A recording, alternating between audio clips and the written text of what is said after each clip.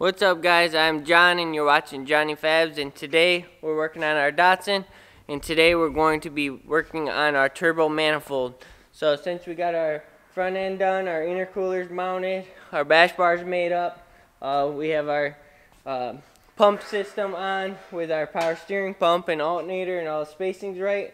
Now I'm going to start building our manifold, that way I know everything's going to fit how it is.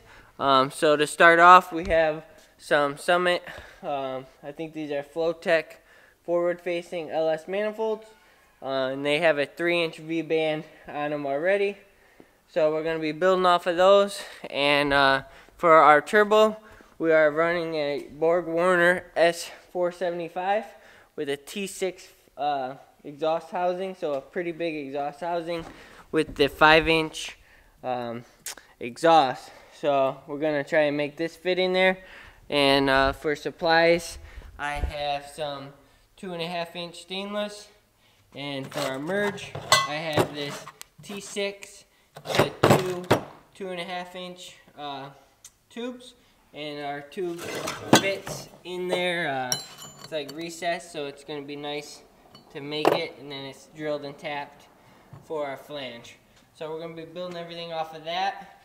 And then I had some two and a half inch V-bands um, to make stuff disconnect. And then I already went ahead and cut this straight piece into a bunch of pie cuts so I can make some uh, 90s and other angles. And uh, I have this bellow. We'll use this later for any flex between the two headers. And then uh, you can see I already went ahead and got the V-band and I made up a 90 so we can turn it down. But since this is 3 inch and our tubing is 2.5, I had to use this um, reducer here. So we got those tacked for now. And so we're gonna start building off of that and get our turbo placed in the motor. And since this thing is so heavy, I'm gonna be using the cherry picker um, to lift it and place it because uh, this thing weighs a ton. So in order to do that, I made up this little plate with two holes so I can bolt it to our turbo and then we can put a chain on this and hoist it in there. So that's what I'm going to do now. I'm going to bolt this on and we'll get our turbo, uh, see where it's going to fit and work good in our setup. So, yep, let's get to it.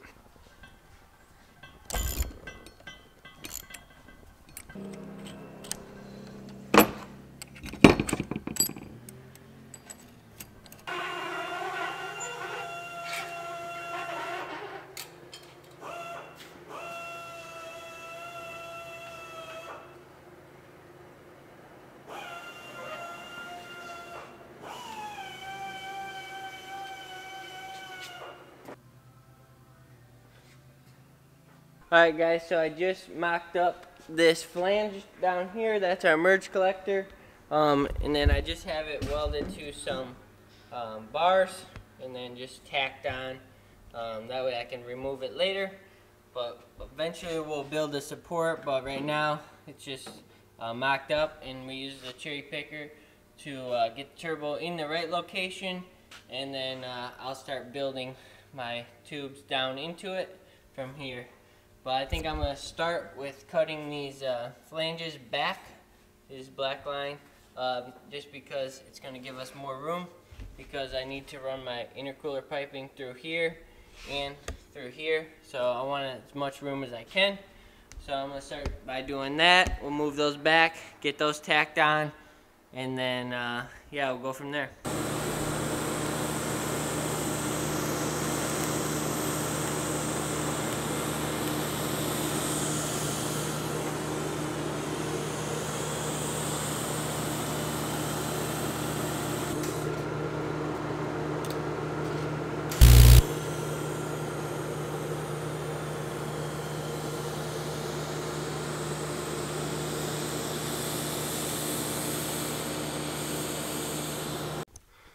Alright you guys, so I just got the passenger side all welded up. Um, I went ahead and did that before I started on the other side because I knew once I uh, got it all welded, it's going to warp and change the dynamics of the other side. So I already got that side welded up. You can see all the pie cuts welded.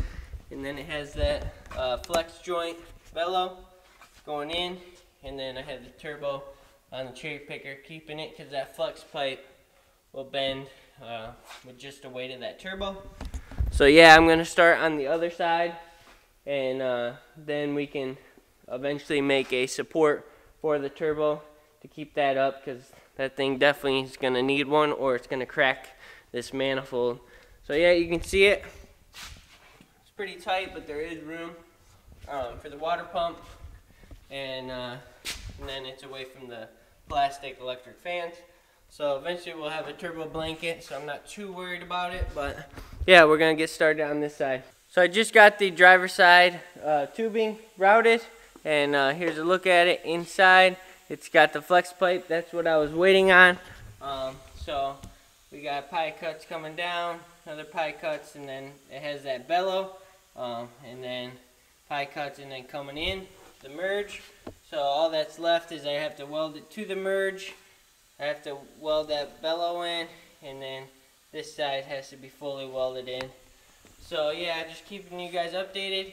And then the reason I had to come uh, down and over is because that compressor uh, housing is in the way so it still clears the sway bar good and next after I weld it fully up I am going to uh, fit the wastegates so we have two 44 millimeter wastegates here so we're gonna hopefully fit those in there it's gonna be tight but we'll make it work and then we still have to figure out the 5 inch exhaust uh, let me know if you guys think 5 inch is overkill. That's what is on the turbo housing, this T6.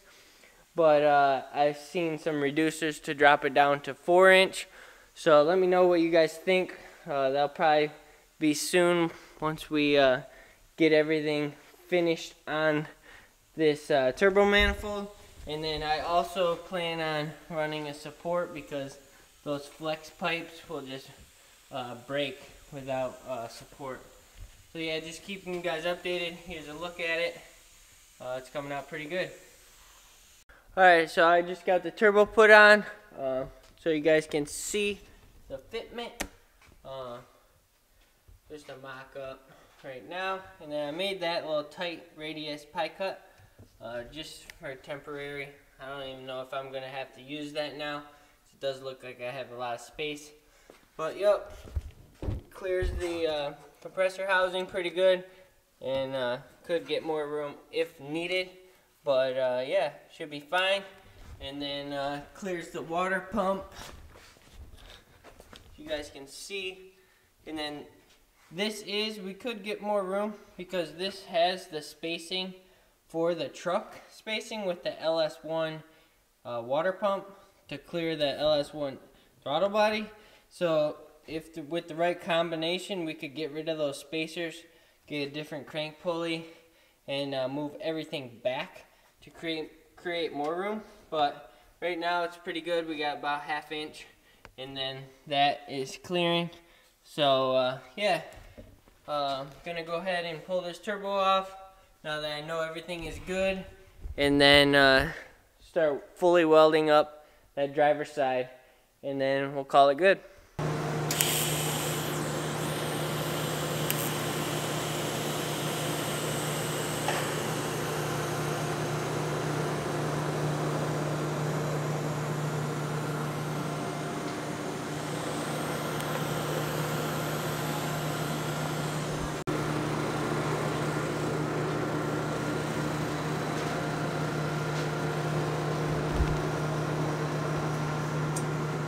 So I just finished up the driver's side, uh, welding up that side and got it welded up to the merge. Uh, so that's going to be it for the turbo uh, manifold. Um, I just have to weld on the wastegates and we got these in. Uh, these are Tial off of eBay. Uh, they're actually knockoffs, but they look pretty legit. Uh, I opened them up and all the diaphragms look look legit. So should work. These are only like $130 rather than uh, real Tial, which is like $400 each. So, uh, yeah, we're just, they, I've heard good things about them as long as you check the uh, diaphragms. So we're going to be running those, taking a little bit of a chance, but uh, we'll see how it goes. Uh, a little bit on a budget, so we didn't want to blow it and get stalled out on simple parts, and we can always just change those later. So yeah, that's going to be our wastegates, two 44 millimeter Tials.